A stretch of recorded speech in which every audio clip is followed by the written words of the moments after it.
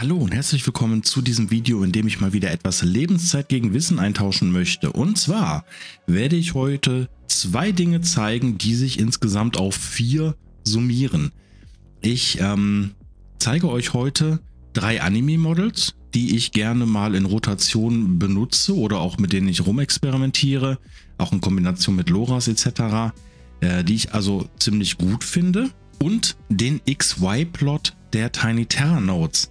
XY-Plot, das habt ihr bestimmt alles schon mal gesehen, wenn ihr nach Informationen im Netz zum Thema Stable Diffusion gesucht habt. Das sind diese Grids, die dasselbe Bild mit verschiedenen Settings anzeigen und das ist ähm, super easy umzusetzen, wenn man weiß, wie es geht. Aber am Ende werde ich euch auch noch einen kleinen ähm, Kniff verraten, was ihr vielleicht nicht machen solltet, zumindest nicht in den Tiny Terra Notes. Okay, die Models, die ich euch heute vorstellen werde, sind einmal das Abyss Orange Mix 3.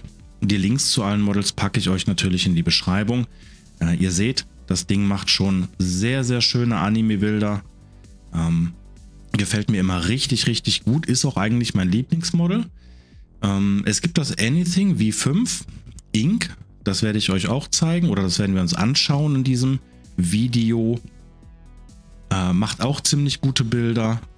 Ist vom Stil, wie man direkt sieht, anders als das Abyss Orange, aber kann auch den ein oder anderen Anwendungszweck sehr gut erfüllen. Und das dritte Model ist das Counterfight, welches auch schöne Bilder generieren kann und dabei auch seinen eigenen Stil hat. Runterladen könnt ihr die Models äh, wie gewohnt. Hier oben ist ein Download-Button. Packt euch das runtergeladene File dann in den ComfUI-Folder unter Models und Checkpoints. Hier könnt ihr es reinpacken und dann ist es beim nächsten Start von ComfUI verfügbar. Beziehungsweise ihr drückt hier unten einmal auf Refresh und dann aktualisiert sich auch die laufende ComfUI-Instanz.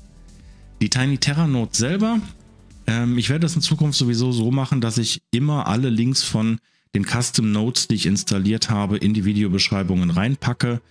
Ähm, wie man das Ganze installiert, habe ich auch schon in anderen Videos erklärt. Ähm, entweder per Git äh, könnt ihr euch das in den Folder der Custom Notes klonen oder ihr installiert äh, vorzugsweise hier den ComfUI Manager. Dann könnt ihr unter Install Custom Notes einfach nach Tiny Terra suchen und äh, die direkt hier im UI installieren. Ist eigentlich der praktischste Weg, vor allem weil euch das hier auch anzeigt, wenn es Updates für die Custom Notes gibt. Fangen wir also mal an. Ich werde jetzt mal ein ganz simples Setup zusammenbauen. Wir benutzen die Tiny Terra Notes, wie schon gesagt. Wir nehmen einen Pipe Loader und wir nehmen einen Pipe Sampler. Lassen ein bisschen Platz zwischen den beiden, verbinden dies und schon haben wir ein Rendering-Setup. Ähm, es steht hier schon auf dem Anything. Ich stelle es mal eben aufs Abyss Orange, obwohl das jetzt für später keinen Unterschied macht. Als VAE nehmen wir die Anime 2 VAE.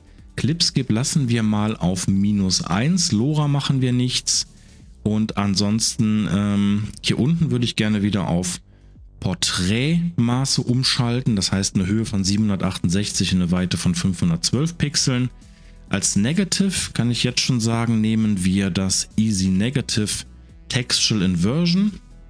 Und ich würde sagen, zum Testen des Bildes nehmen wir uns einfach mal ein Beispiel aus den Models selber.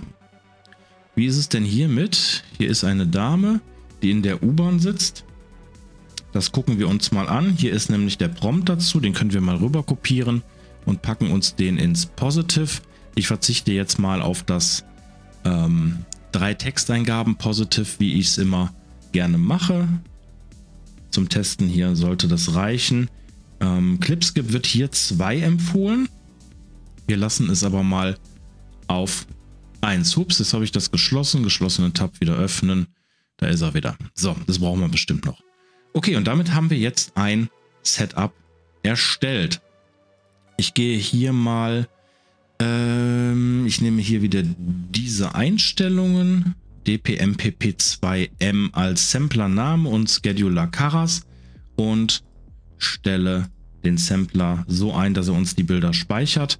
Und jetzt schauen wir mal an, was er uns generiert. Ob es überhaupt alles so funktioniert. Und er tut's. Sehr schön, wir haben ein Bild bekommen. Das ist ähnlich dem, äh, ähm, wie wir es haben wollten. Gut, jetzt im Porträtmodus und nicht im Landscape, aber egal.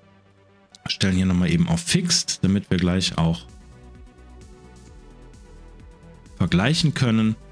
Ja, auch sehr schön geworden. Gut, kommen wir also zum XY-Plot. Den findet ihr auch in den Tiny Terra Nodes unter Pipe. Hier versteckt sich der XY-Plot und das hier ist die ganze Geschichte. Und im Prinzip muss man erstmal nichts weiter machen, als diesen XY-Plot in den Sampler reinzuhängen. Und was dieser XY-Plot jetzt kann, da gehen wir jetzt mal durch. Grid Spacing, hier könnt ihr im Prinzip, ähm, ihr erhaltet ein Grid, also ein, eine Übersicht mit einer X- und Y-Achse der verschiedenen äh, Einstellungsmöglichkeiten bzw. Der, der Resultate, die aus Einstellungsmöglichkeiten resultieren. Und hiermit äh, stellt ihr ein, wie viel Platz dazwischen sein soll. Also ein Pixel, 5 Pixel, 10 Pixel, 15 Pixel etc. Ich lasse es mal auf 0.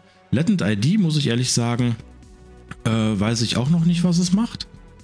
Äh, Flip XY, damit tauscht ihr die beiden hier um, falls ihr euch mal vertan habt. dann müsst ihr nicht die Einstellungen hier neu machen, sondern könnt das einmal ähm, umdrehen. Wir lassen es aber so.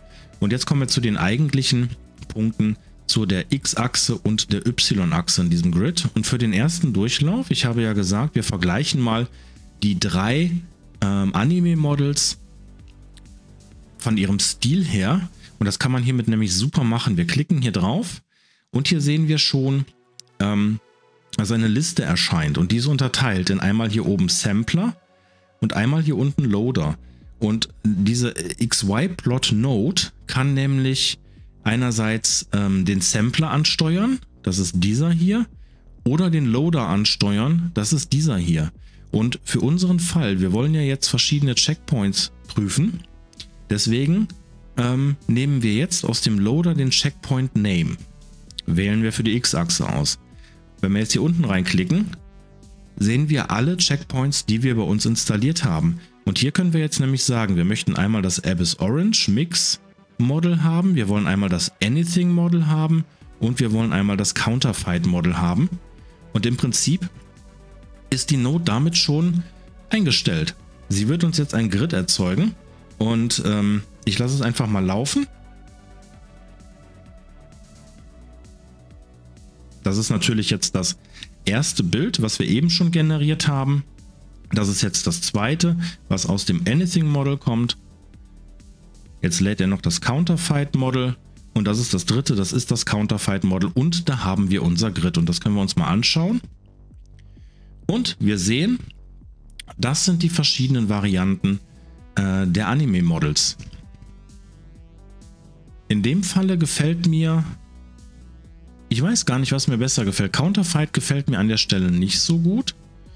Ähm, die beiden gefallen mir schon sehr gut, wobei ich hier die Farben besser finde. Und hier wirkt das alles ein bisschen gräulicher.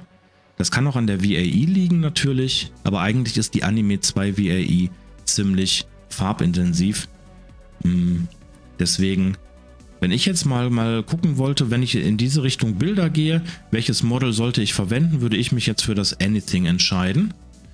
Aber ähm, wir können ja noch ein bisschen weiter testen. Wir können zum Beispiel jetzt nämlich sagen, ich will eben mal gucken, ob das geht. Und das geht. Wir können im Loader mal das Clip-Skip beeinflussen. Das heißt, wir wählen hier mal alle aus äh, und, und, löschen die, unsere alten Werte und gehen jetzt mal hier hin. Minus 1 kennen wir schon. Ich mache es trotzdem mal, ähm, beziehungsweise, das war dumm, wir müssten einmal jetzt gucken. Wir müssen nochmal die Checkpoints nehmen.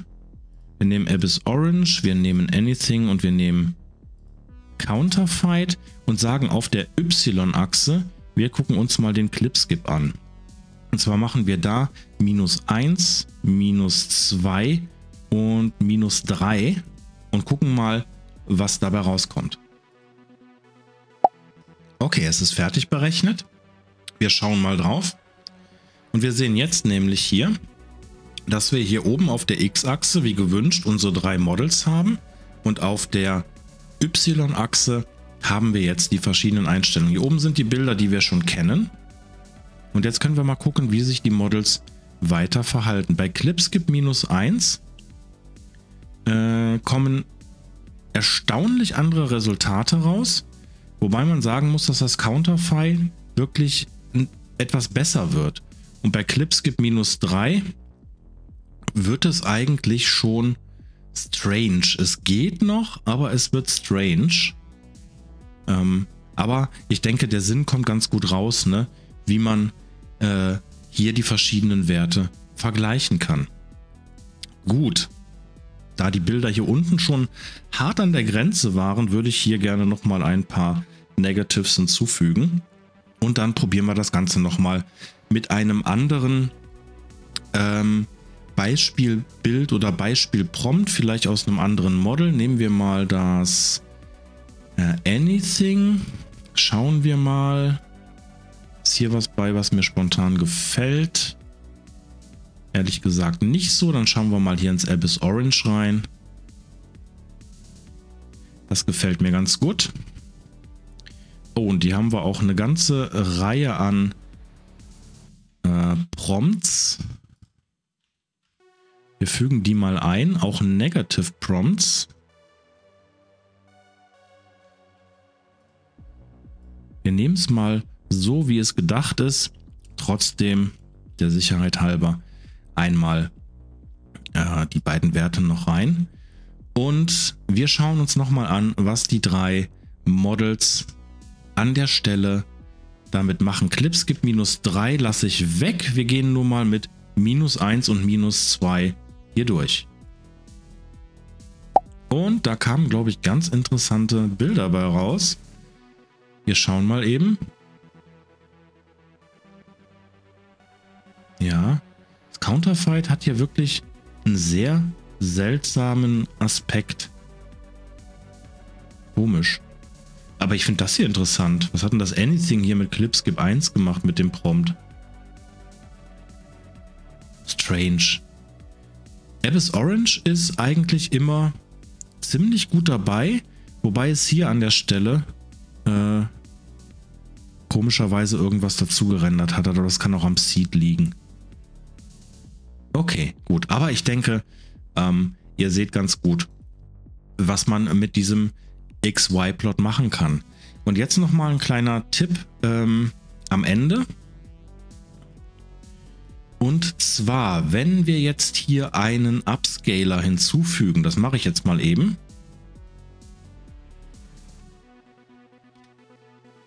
Wir brauchen einen Upscale Model Loader. Wir brauchen Upscale with Model. Wir brauchen ähm, ein Scale by ne, Scale to Site. Das kommt auch aus den, aus den Derfu Nodes kommt das. Und wir brauchen einen VAE Encode. So, das bauen wir jetzt mal eben schnell zusammen. Upscale Model hier rein. Das Image kommt hier rüber. Dann geht das Image in den Downscaler, weil das ist in dem Fall kein Upscaler, sondern Downscaler, weil wir hier oben schon auf vierfach aufblähen. Wir müssen das Ganze wieder in den Latent Space umwandeln. Dafür brauchen wir die VAE und wir brauchen abschließend noch einen weiteren Sampler aus den Tiny Terra Nodes.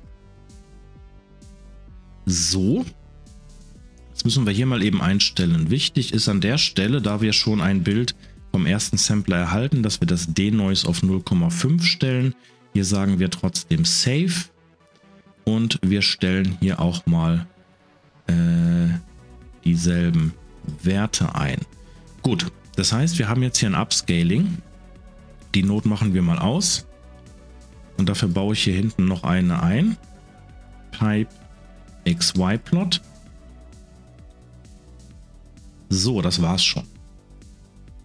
Äh, also wir haben jetzt hier ein Upscaling und wir wollen jetzt mal mit Hilfe des XY-Plots gucken, wie sich bestimmte äh, Dinge ändern. Also wir haben hier vorne jetzt gesagt, wir nehmen das äh, Abyss Orange Model mit einem Clip-Skip von 2. Die VAE war in Ordnung, sagen wir mal. Das ist das, was uns das erste Grid gezeigt hat. Und jetzt wollen wir hier hinten nochmal eine andere Sache ausprobieren. Und zwar wollen wir hier ähm, einmal die Add Detail Save Tensors Node ausprobieren. Wir erinnern uns, diese, äh, äh, dieses LoRa ist dafür da, äh, mehr Details hinzuzufügen, ohne dabei den Aspekt des Models wirklich ähm, stark zu beeinflussen. Und um das zu prüfen, sagen wir jetzt mal hier, wir wollen im Sampler, weil wir den Sampler hier ansprechen wollen, äh, die LoRa Model Strength beeinflussen. Und da diese Anzeige hier ein bisschen doof ist, geben wir das mal eben selber ein. Ähm, wir sagen jetzt mal minus 2, 0. Nein, ich will eine 0 haben. 0 geht gar nicht. Oder wie oder was? Huch. Diese Dropdowns. Ja, ich sage ja, die ist ein bisschen äh, umständlich. Ich will eine 0 haben. So, geht doch. Dann möchte ich gerne eine 1 haben. Ich möchte eine 1,5 haben. Und ich möchte mal eine 2 haben. So. Arretierung der Maus wieder einschalten. Äh, genau. Da wir jetzt den Sampler ansprechen, werden wir jetzt hier äh, ein Grid erhalten, welches uns mal äh, zeigt, wie diese Add Detail Node Einfluss auf das Bild nimmt. Und ähm, wir lassen mal ein weiteres Bild generieren. Ich nehme mal einen Seed hoch. Und wir drücken auf Start.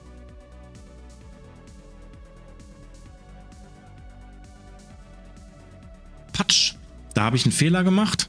Den lasse ich natürlich im Video drin. Und zwar habe ich diese Note nicht eingestellt. Ich, Idiot, habe diese Note nicht eingestellt. Äh, natürlich Mods an der Stelle, Comfy UI. Ich möchte sagen, äh, die Länge soll auf 1024 in der Höhe geändert werden. Ähm, da meckert es vollkommen zurecht. So, wir lassen uns nochmal weiterlaufen. Es geht an der Stelle weiter, weil sich hier vorne in dem Bereich nichts ändert. Wir haben den Seed auf Fixed. Wir lassen es eben zu äh, Ende rendern. Und da ist es schon fertig. Wir schauen es uns mal an. So. Ähm, wir haben jetzt hier oben unsere Stärke der LoRa. Und wir sehen schon, äh, im Minusbereich nimmt die LoRa Details weg. Im positiven Bereich fügt sie Details hinzu. Ähm, bei 0 sollten wir das Ursprungsbild sehen weil die, wenn die Lore eine Stärke von 0 hat, ist sie einfach nicht präsent. Aber im weiteren Verlauf sehen wir, dass immer mehr Details an dieser Stelle dazukommen. Bei zwei richtig krass, hier an den Haaren kann man es erkennen, besonders gut immer, äh, wie viele Details dazukommen. Aber auch an der Tasche, die wird detaillierter. Ähm, wir haben diese Lora schon häufiger gesehen. Gut, das war, wenn wir den Sampler angesprochen haben. Was, was wir natürlich auch machen können, ist, wir können, wir können im Loader direkt die Model Strength angeben. Das heißt, ich mache hier mal die äh, Detail Node raus und sage dir, ich möchte die hier im Lo Loader LoRa Name hinzufügen. So, jetzt steuert dieser XY-Plot beim Erstellen des Grids den Loader an. Aber wir haben hier im Loader ja schon ähm, eine Add Detail Save Tensors hinzugefügt mit einer Stärke von 1. Das heißt, an dieser Stelle ähm, überträgt der Loader die LoRa schon auf den ersten Sampler und wir haben eine Stärke. Wenn wir jetzt hier hinten äh, die Stärke ausprobieren wollen, kriegen wir die Stärken eigentlich schon addiert. Also auf ein bereits mit Details angereichertes Bild erhalten wir nochmal Details. Und das kann gefährlich werden an der Stelle, weil, nehmen wir mal an, ihr entscheidet euch dafür, dass ähm, für euren Weg dann die Stärke von 1,5 in der LoRa am besten wäre. Dann würdet ihr ja hingehen und sagen, ihr möchtet die Modelstärke hier an der Stelle auf 1,5 machen. Was ihr dann allerdings natürlich ändert ist, dass ihr hier schon wieder 1,5 Stärke hinzufügt, ne? weil der Loader überträgt das auf den Sampler.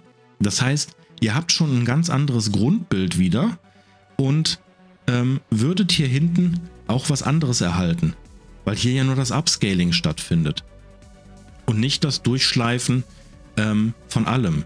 Also beim ersten Durchgang hättet ihr hier eine LoRa-Stärke von 1, in dem Bild, für das ihr euch entscheidet, hier von 1,5. Ihr sagt, ihr macht hier jetzt 1,5 draus, weil euch das am Ende am besten gefallen hat, kriegt dann aber hier auch schon wieder ein Bild mit einer Stärke von 1,5 und verfälscht dann sozusagen euer Ergebnis, weil ihr ja nicht die Kette mehr berücksichtigt, sondern ähm, nur noch das, das letzte Bild, was hier hinten kam. Ich denke, man kann das umgehen, indem man hier generell äh, das, nee, das kann man nicht umgehen. Ihr müsst ja an der Stelle hier, wenn ihr euch hier hinten für, einen, für eine Stärke im, im Loader entschieden habt, müsst ihr die ja anpassen. Und damit ändert ihr automatisch auch wieder den. Also wenn möglich, ähm, benutzt die XY-Plot für sowas äh, im Loader dann äh, nur hierfür. Also nur in, in einer Ebene, sage ich mal, mit einem Sampler. Oder seid euch bewusst, dass ihr hier hinten ähm, ausprobiert mit dem äh, mit der Sampler Lore an sich, weil der dann nur diesen einzelnen Sampler hier ansteuert. Okay, ich hoffe, ich konnte das ähm, irgendwie verdeutlichen, wie meine Besorgnis an der Stelle ist. Ansonsten gibt es natürlich, ähm, das können wir auch nochmal ausprobieren, ähm, es sollte natürlich kein Problem sein, wenn wir jetzt sagen, wir wollen im Loader aber den, den Checkpoint wieder ändern. Und zwar wollen wir ähm, hier wieder Abyss Orange, Anything und Counterfight haben. Das sollte die Kette äh, nicht beeinflussen. Ich gehe mal einen Schritt weiter, damit wir noch ein paar andere Bilder sehen hier. Ich starte das Ganze nochmal. Und da ist das Ergebnis. Das können wir uns nochmal angucken. Äh, Abyss Orange, Anything und Counterfight ähm, hier hat es ziemlich gut geklappt mit allen Bildern. Erstaunlicherweise, sie sind ziemlich ähnlich, aber unterschiedlich äh, in ihren Stilen. So, und hier muss ich nochmal nachträglich einen Schnitt reinsetzen. Und zwar hat mich das zu sehr verwundert, nachdem ich das Video eben schon siegessicher beendet hatte. Ähm, es geht so natürlich nicht, weil ich habe jetzt nochmal ein Bild laufen lassen und habe mich gewundert, warum das schon wieder so einheitlich ist. Und es ist natürlich klar, ähm, ihr könnt in der zweiten Ebene hier das nicht einbauen, weil äh, ihr kriegt ja schon das Bild von hier vorne und das ist mit dem Abyss Orange Mix gemacht. Das heißt, äh, der Abyss Orange Mix, also beim ersten Durchlauf nimmt er sich hier wieder den Abyss Orange Mix und äh, berechnet das hochskalierte Bild nochmal, aber auf Basis dieses Bildes. Ähm, Im zweiten Durchlauf nimmt er sich zwar das Anything V5 Model hier vorne im Loader, aber nimmt trotzdem noch dieses Bild, welches wir mit dem Abyss Orange erstellt haben, als Basis. Und deswegen ähneln sich die Bilder hier. Im Counterfight macht er das nämlich genauso. Das heißt, ähm, solltet ihr mit zwei Ebenen arbeiten, ist es fraglich, ob ein XY-Plot an der Stelle hier Sinn macht. Es kommt natürlich darauf an, ähm, was ihr machen wollt. Also wenn ihr jetzt wirklich äh, mal gucken wollt, ähm, im Model, zum Model-Bereich zum Beispiel, ihr stellt das mit Model 1 und wollt gucken, ähm, wie ihr jetzt mit Model 2 das Bild weiterverarbeiten könnt, dann funktioniert das. Aber in der zweiten Ebene funktioniert es nicht mehr, wenn ihr verschiedene Grundeinstellungen ähm, ausprobiert. So, das wollte ich nur kurz loswerden. Das hat mir jetzt keine Ruhe gelassen, deswegen habe ich es nochmal ausprobiert. Und dann, ähm, ja, geht es jetzt weiter mit der Abmoderation aus dem anderen Video. Gut, ich überlege, ob ich was vergessen habe. Ich denke nicht. Dann, ja, viel Spaß mit dem XY-Plot. Ich werde ihn in Zukunft wahrscheinlich auch häufiger verwenden für mich, um verschiedene Dinge auszuprobieren, weil es ist einfach wirklich praktisch, wenn man mal eben schnell vergleichen will und gucken möchte, in welche Richtung möchte ich denn jetzt, dass das Bild sich entwickelt, welche Models kann ich dafür nehmen, welches passt vielleicht für mein Vorhaben, welche LoRa's füge ich hinzu, äh, solche Geschichten. Gut, viel Spaß beim Ausprobieren und ich hoffe, wir sehen uns im nächsten Video wieder. Bis dahin, macht es gut. Tschüss.